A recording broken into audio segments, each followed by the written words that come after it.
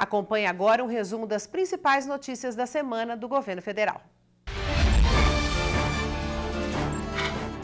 Celso Amorim tomou posse como ministro da Defesa. De acordo com a presidenta Dilma Rousseff, que participou da solenidade, os projetos das Forças Armadas vão ganhar velocidade e solidez, sob o comando de Amorim. Ele assumiu o cargo antes ocupado por Nelson Jobim. Presidenta Dilma Rousseff recebeu o primeiro-ministro do Canadá. O país é o principal destino de investimentos brasileiros no exterior. Só no ano passado, as exportações do Brasil para o Canadá alcançaram 2 bilhões e 300 milhões de dólares.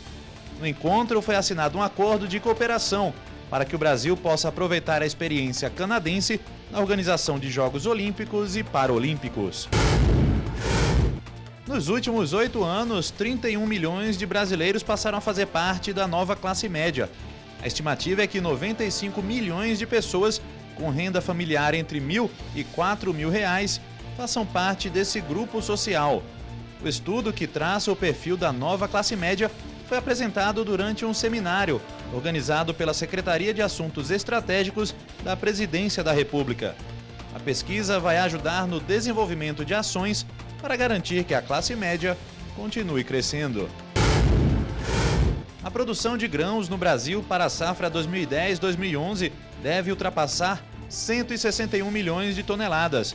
Os números são da Conab, a Companhia Nacional de Abastecimento.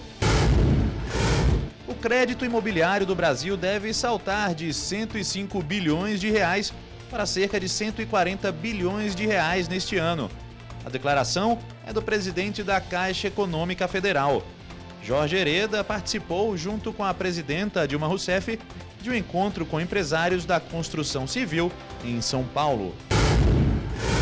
Está em construção no Ceará a primeira siderúrgica da região Nordeste, que será capaz de produzir e exportar 6 milhões de toneladas de placas de aço por ano. A presidenta Dilma Rousseff visitou as instalações. É só na guerra ou em missões de paz no exterior que o Exército Brasileiro atua. Ele também tem a missão de garantir a lei e a ordem no território brasileiro. Nesta semana, 600 militares do Comando Militar do Planalto receberam treinamento para trabalhar junto com a polícia.